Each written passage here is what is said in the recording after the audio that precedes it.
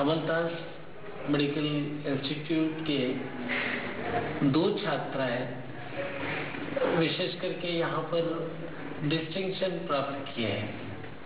और दो छात्राएँ जिनका नाम है अशिता अग्रवाल और हर्षा खत्री।